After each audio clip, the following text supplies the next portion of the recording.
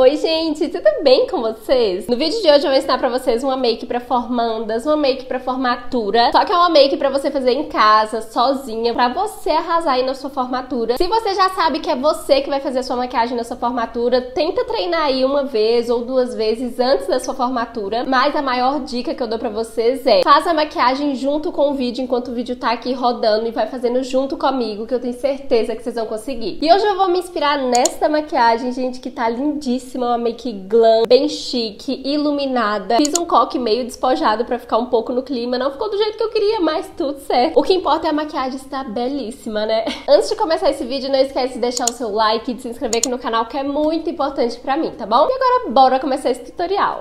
Gente, eu vou fazer essa maquiagem com esse zoom hoje pra vocês, bem de pertinho pra vocês verem melhor os detalhes, tá? Primeiro passo, pele limpa. Usa algum sabonete próprio pra sua pele ou então uma loção de limpeza pra você deixar sua pele bem limpinha pra começar essa maquiagem. E o segundo passo é a hidratação. Eu sempre falo com vocês que o principal da maquiagem é antes da maquiagem. É a preparação de pele que vai deixar sua maquiagem bonita, que vai ajudar a durar mais tempo. Hoje eu vou usar esse sérum Stay Fix da Ruby Rose. Ele ajuda a fixar mais a maquiagem, mas eu gosto mesmo dele dele é para ele hidratar, que ele tem ácido hialurônico, tá?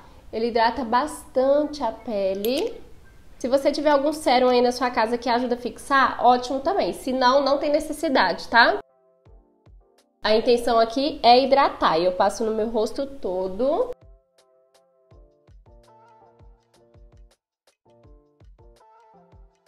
Sempre passa aqui abaixo dos olhos e também na pálpebra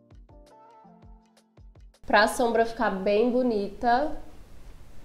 Um pouquinho também no pescoço. Lembra que você tem que deixar tudo uniforme. Se sua roupa for decotada, desce até pro colo. Se não, você pode vir até o pescoço, tá? Pele hidratada, espera os produtos secarem. Você nunca pode vir com um produto por cima da pele molhada ainda, tá? Sempre espera um tempinho de um produto pro outro. E eu vou usar o primer agora. Se você não tem primer, não tem problema. Mas eu vou usar o primer com finalidade de fechar os meus poros e ajudar a controlar um pouquinho mais a oleosidade. Eu já vou usar o primer BT Blur da Bruna Tavares. Pega uma quantidade assim, ó. Gente, esse primer da Bruna dura dura muito, muito tempo. E passa aqui nessa região, ó, fazendo movimento circular. Se você tem poro dilatado, que são aqueles furinhos que a gente tem na pele, ou muita oleosidade, principalmente aqui no centro do rosto, um primer vai te ajudar muito. Aí você passa com movimento circular bem onde você tiver o poro dilatado ou oleosidade. Preparação de pele rápida, básica e muito eficiente, eu sempre falo com vocês. E agora é hora da base. Hoje vou misturar duas bases. Uma é muito amarelada e a outra é um pouquinho mais neutra. Vou usar a My Secret da Dalla na cor 02 e a Matte Real da Avon na cor, deixa eu ver, bege médio. Vou misturar aqui na minha mão mesmo. Essa da Avon é mais grossinha. Eu sou apaixonada com essa base da Avon, gente. Mistura aqui com a mão e já passo aqui na minha pele. Venho com a esponjinha úmida da Mari Saad e já começo espalhando essa base.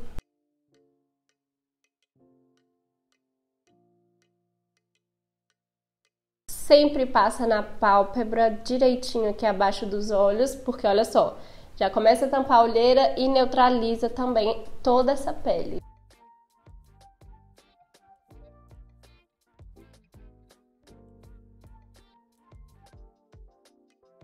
Passo no pescoço. Base 100% espalhada, minha pele já tá um pouquinho neutralizada, mas eu quero um pouquinho mais de cobertura na região da olheira, então vou usar um corretivo bem no meu tom. E o corretivo vai ser esse daqui da RK na cor 25. Eu passo ele onde eu quero neutralizar mais e tampar mais, aqui na região da minha olheira e um pouquinho aqui. Volto com a esponjinha novamente e começo a espalhar esse corretivo. Eu esqueço com que esse corretivo da RK rende. Olha!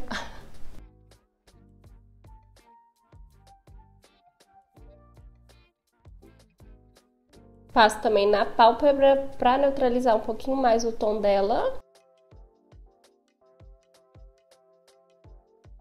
Pronto, agora minha pele já tá mais neutralizada. E eu vou iluminar um pouquinho agora abaixo dos meus olhos. Vou usar o corretivo Satin da Visela na cor 03. Passo aqui abaixo dos meus olhos. Eu adoro iluminar a pele, gente. Se você não tem um corretivo aí mais claro que a sua pele pra iluminar, não tem problema, tá? Isso aqui é só um detalhe. Sempre com esponjinha Vou passar bem rente aqui abaixo dos meus olhos. Bem rente ao meu cílio.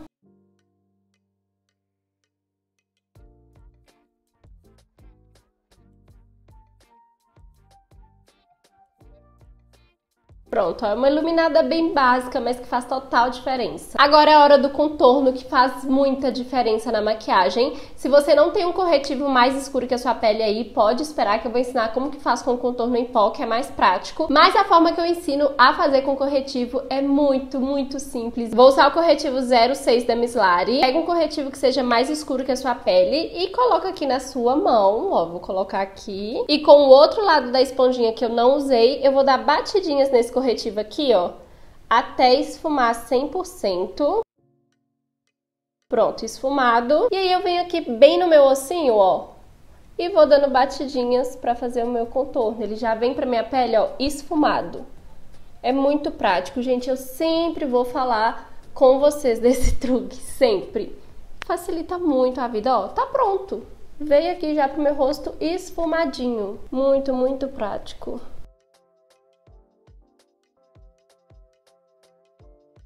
Agora chegou a parte principal para sua maquiagem durar mais tempo, que é selar a pele. Nós passamos vários produtos líquidos e cremosos, se não selar vai derreter. Eu vou usar o pó translúcido Banana Light da Mahave. Gente, esse Banana Light ele tem um fundo bem leve amarelado, por isso que eu vou usar ele. Antes de selar, ó, sempre tem que tirar o excesso abaixo dos olhos ou onde o corretivo acumula ou acumulou, tá? Aqui eu tiro na pálpebra, abaixo dos olhos e aqui também.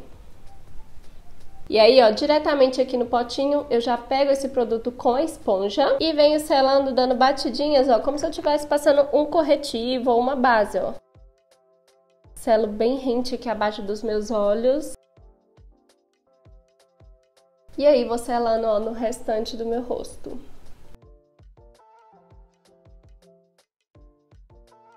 Selo também o nariz. E com o restinho eu selo aqui a minha pálpebra.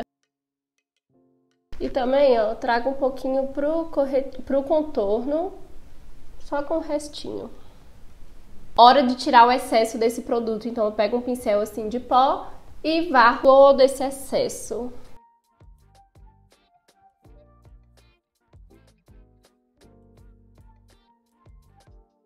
E desço também pro pescoço com o restinho que tá aqui no pincel, pra ficar tudo aveludado. Olha só que prático, gente, pele selada já. E agora eu vou intensificar um pouquinho mais esse contorno. Vou usar o contorno marmorizado da Ruby Rose na cor light. Com o pincel chanfrado eu pego esse contorno, tiro o excesso e passo aqui, ó, bem por cima de onde eu passei o meu contorno com corretivo. Se você não fez o contorno antes e tá fazendo só agora com corretivo em pó, é só fazer assim, ó. Onde você vê ou sentiu o seu ossinho é onde é o contorno, ó. Bem aqui. Vou subindo um pouquinho pra testa aqui, bem rente à raiz do meu cabelo. Só pro meu rosto ficar mais harmônico. Aqui também.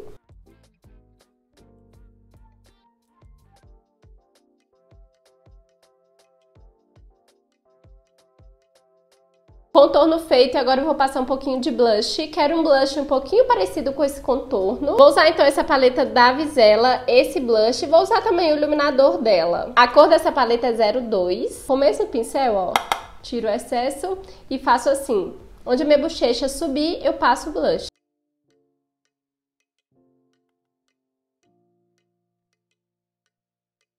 Na foto, gente, ela não tá com muito iluminador, então eu vou passar aqui, ó, um dedinho acima do meu contorno, bem pouquinho mesmo. Só um pouquinho na pontinha do meu nariz e um pouquinho aqui. Agora eu vou aplicar uma bruma, que é a mesma história do primer. Se você não tem, tudo bem, bora pro próximo passo. Eu vou usar a bruma da Nina Secrets. Borrifo no meu rosto todo.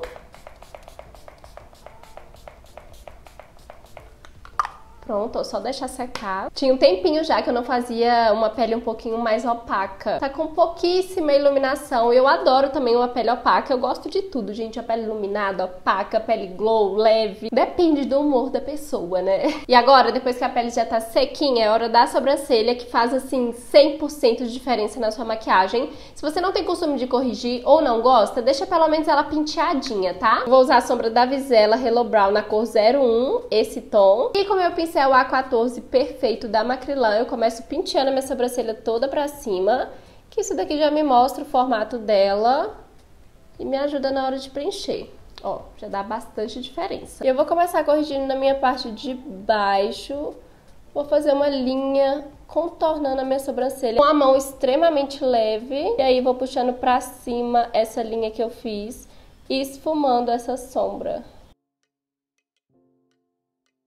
E começo a colorir por dentro onde eu tenho falhinhas. O inicinho aqui é sempre com um restinho de sombra. E sempre penteando. Olha a diferença que dá.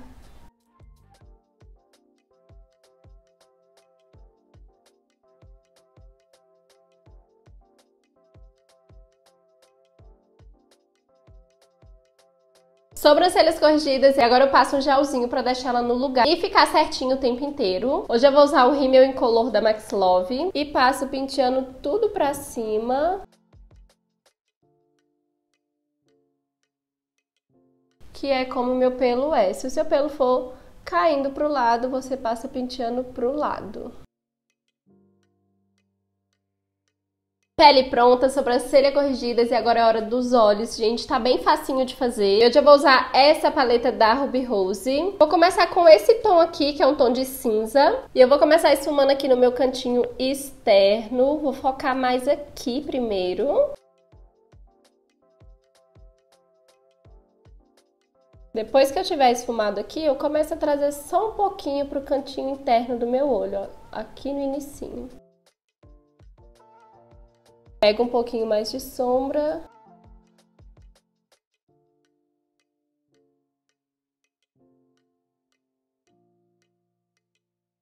Venho agora com a sombra preta. Gente, a sombra preta é bem pouquinho, tá? E aí você vai passar um pouquinho abaixo do esfumado cinza. Vou até tirar o excesso, sempre tiro o excesso antes. E esfuma bem de leve, trazendo um pouquinho mais pra pálpebra.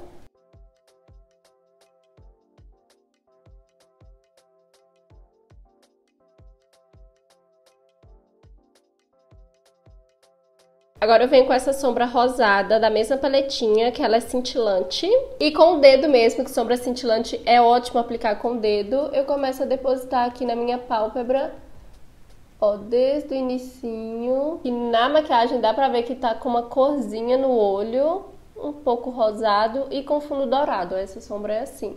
Passa até mais ou menos o finalzinho do meu olho encontrando com esfumado. Gente, eu lixei as minhas unhas curtinhas e tô adorando. Como é bom fazer maquiagem com unha curtinha assim, poder usar o dedo.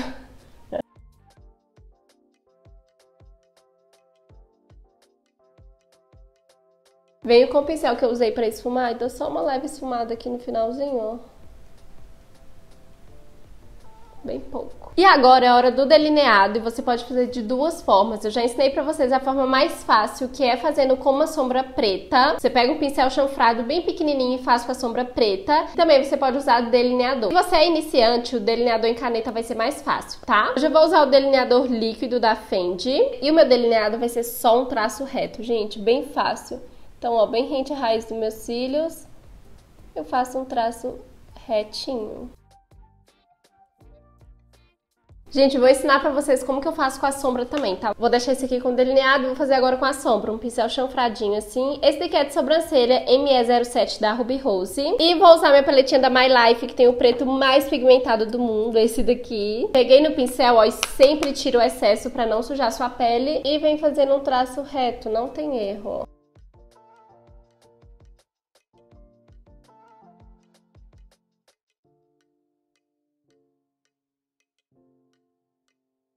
Aí agora pode ir engrossando.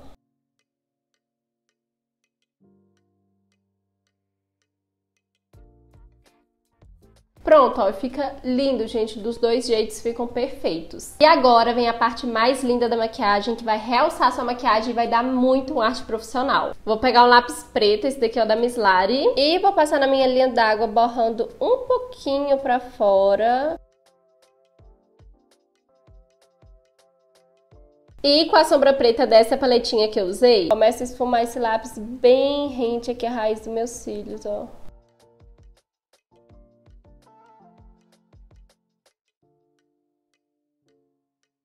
Pego também a primeira sombra que eu usei, a sombra cinza, e começo a esfumar um pouquinho aqui nessa borda do pretinho. Olha a diferença que já dá de um olho pro outro, gente. Você pode também puxar esse esfumadinho um pouquinho pra cima, ó, pra juntar com esse aqui de cima.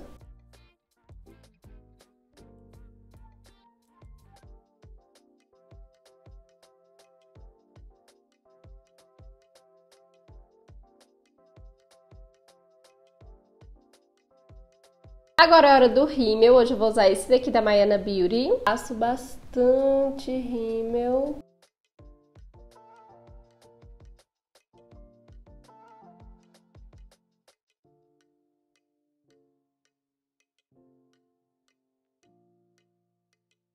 Dos cílios, mas se você não sabe colar, só investir bastante no rímel. Vou colar o meu aqui que eu já não tenho numeração. Vocês sempre me perguntam Gente, é muito difícil porque é muito cílios, eu acabo que coloco em caixinhas diferentes e perco a numeração.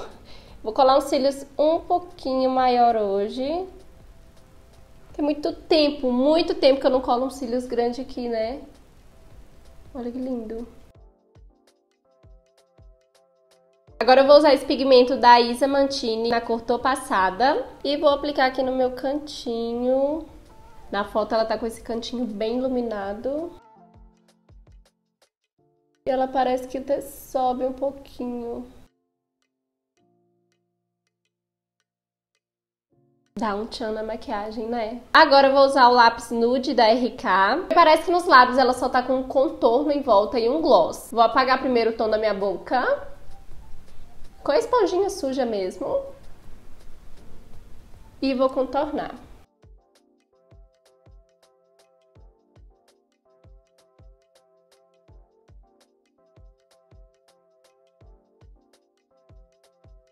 O lápis dela tá mais amarronzado e o meu ficou mais rosado. Mas não tem problema. Agora eu vou usar um gloss bem nude. Vou usar esse lip gloss da Ast na cor 07.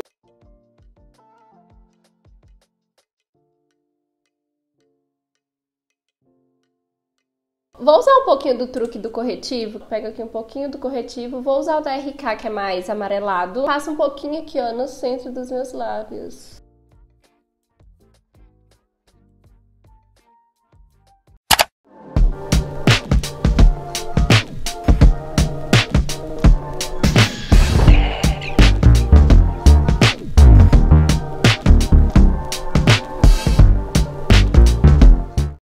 Make pronta, gente. E aí, o que, que, vocês acharam? Gente, eu adorei essa maquiagem. A boca ficou bem diferente da foto, mas eu achei que ficou assim, ó, perfeita. Acho que se ela tivesse ficado tão nude igual tá na foto, não tinha combinado tanto igual combinou assim, mais rosado.